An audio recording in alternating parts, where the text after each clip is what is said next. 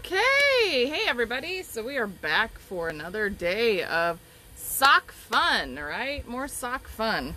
And uh, it's very bright out here, so I will do my best. Uh, let's see. So if you haven't been here before, excuse me, I have really bad allergies. Um, my name is Kelly Slack, and um, I was invited to guest teach by Heather of Pearly Shell Fiber Arts. I'm the co-owner of Black Sheep Fiber Emporium. Uh, let's see. I have two master's degrees in teaching, so I really love to teach. I've self-published two books, uh, Froth and Foam, which is my book of lace, and Happy Feet, which is, you know, all about socks. Um, let's see, I've made over a hundred pairs of socks, so while I don't know everything, I do know a lot. And um, your videos are sponsored by these three people. So we have Black Sheep Fiber Emporium, Kelly Slack Designs, and Pearly Shell Fiber Arts. So make sure that you are uh, heading over to their social media venues, clicking like and telling them, hey, thanks. Um, thanks for having Kelly on to do some videos. So uh, we have Instagram, Facebook, YouTube, and TikTok. And I am trying to remember to put up um, all of the videos on the Black Sheep YouTube channel so if you happen to miss it here, you can't find it in the WAFA group, the Woolen Fiber Arts group, then hopefully you can find it um, over on YouTube. So today is all about toe up heels. Um, there's not quite as many toe up heels yet as there are top down heels, but we do have a few to talk about. Um, of course, the afterthought and peasant heels can also be used for toe up socks, just like they can be used for top down socks.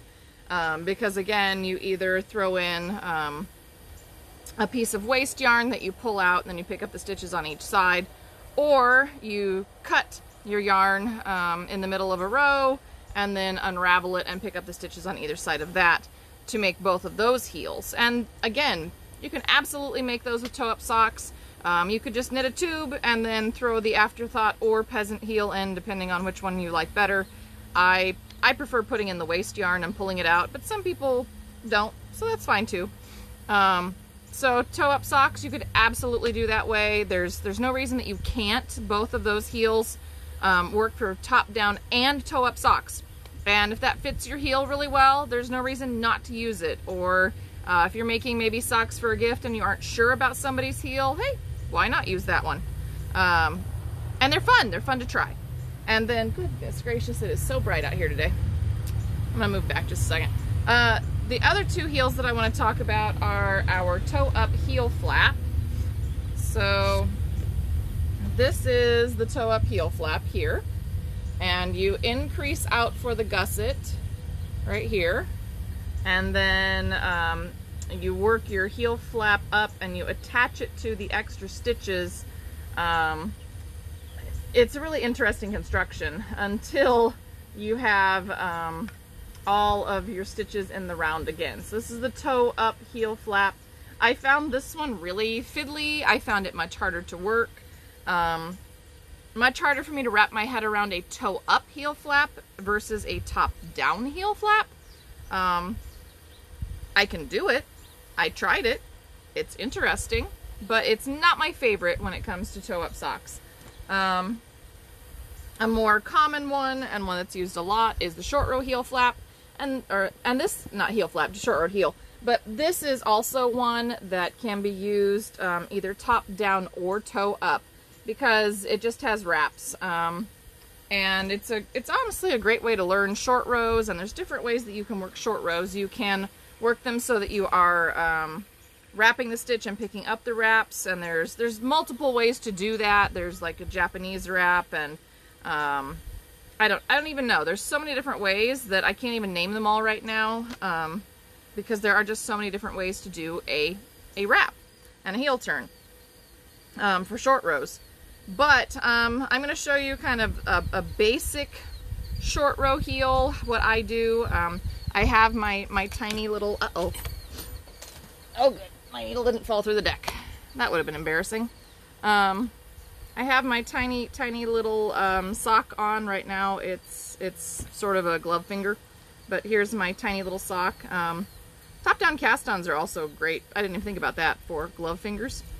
Um, but anyway, So this right here is, is my tiny little keychain sock. Remember I made the little top down sock right there.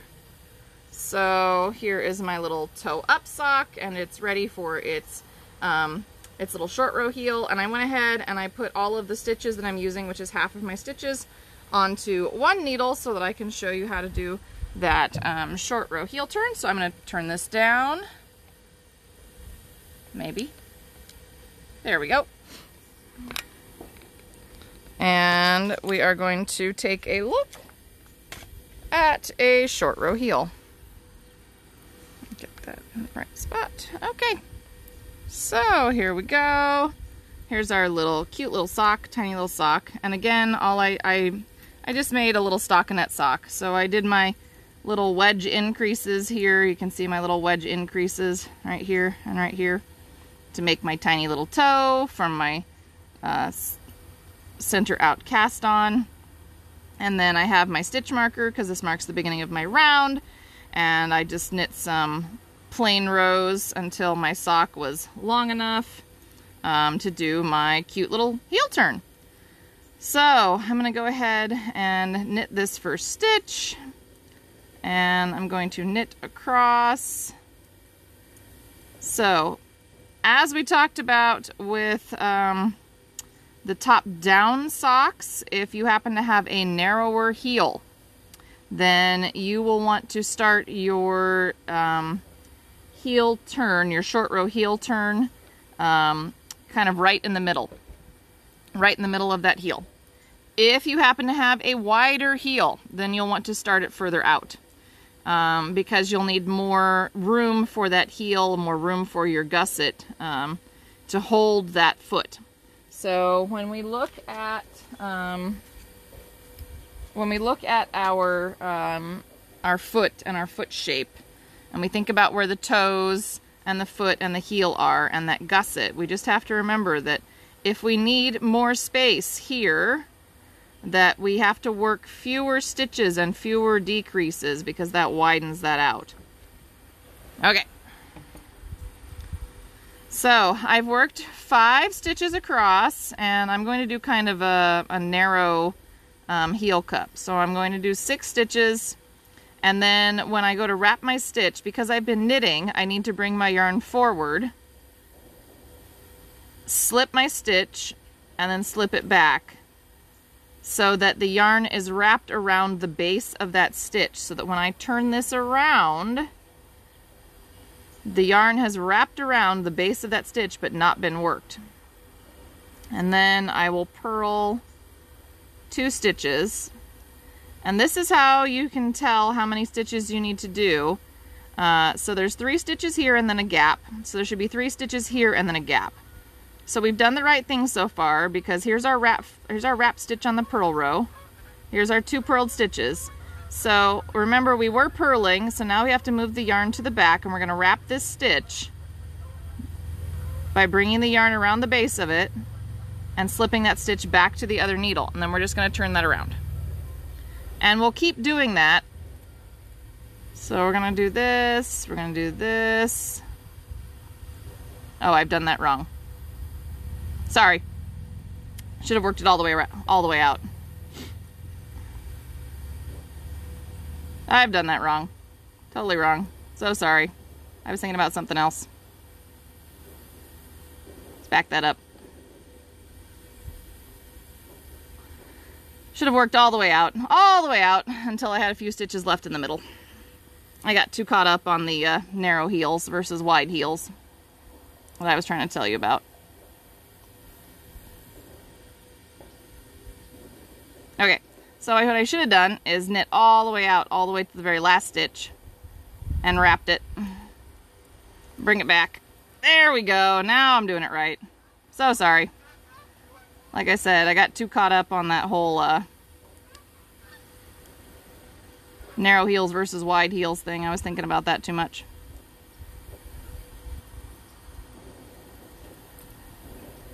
So. There we go. Now I'm on the right track again.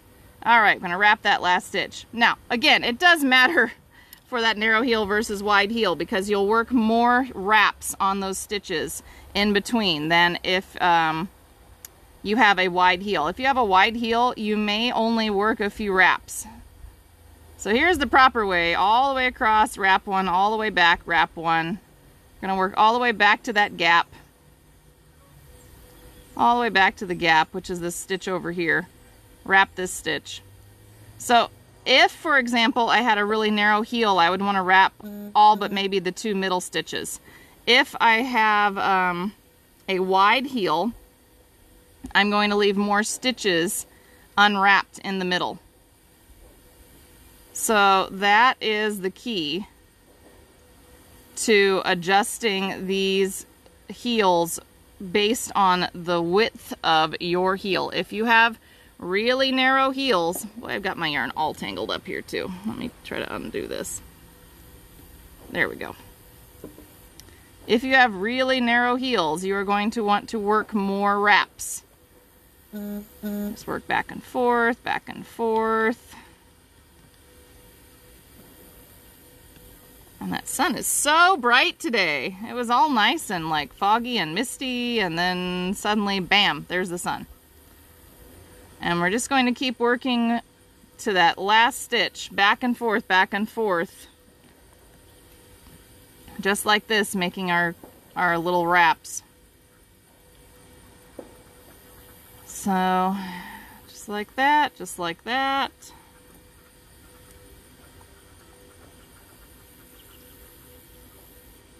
All right. So now I have wrapped, let's go count them.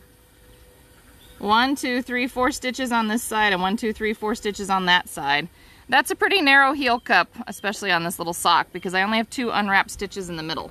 So I am going to start working my wraps back together. There's different ways that you can do this again, and it's totally up to you how you do it.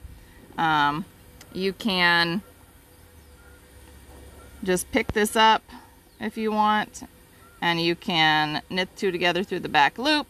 You can, um, actually, I'm to twist that again. I'm to double twist these, really tighten them down.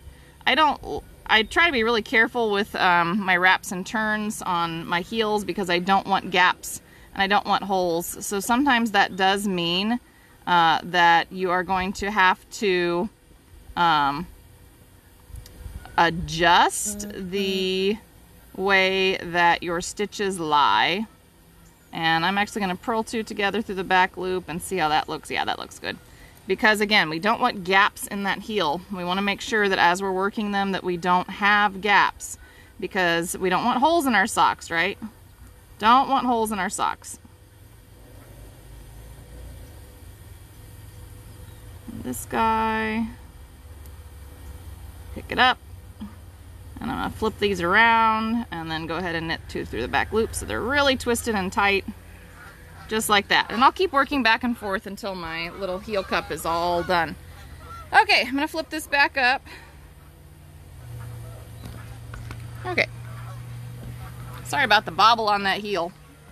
I got too caught up in the narrow versus wide heels. All right, so let's see. Um, remember that when you're looking at your socks, that you need to take into account the length of your foot, the height of your sock, um, the how wide your ankle might be, how um, wide the ball of your foot is, all different kinds of things to take into account to make sure that you are measuring it correctly. Um, when it comes to toe-up socks, usually um, your heel is approximately two inches shorter than the total length of your foot. So if you have a nine inch foot, then you would start the heel um, after you have seven inches knit. And don't forget that that lovely sock ruler is a great way to measure your toe-up socks. Um, if you don't have a sock ruler, make sure you're laying it on a flat surface to measure. All right, all kinds of fun. So I'm gonna get my cute little heel all um, taken care of. I'm gonna get out of this super bright sun. It is October. It's much too bright for this here in, in St. Louis. Um, next time that we meet, we are going to be talking about um, cuffs and cast-offs for toe-up socks. So that will be um, tomorrow afternoon. We're going to talk about um, cuffs and cast-offs for toe-up socks because we're going to work all the way up that leg of that sock. Um, let's see, what's after that? I don't know, we're, we're, we're working our way through the last of um, the videos, so this was video, what, um, 11? Yeah, video 11. So four more videos after this, and then we're done with our series on socks.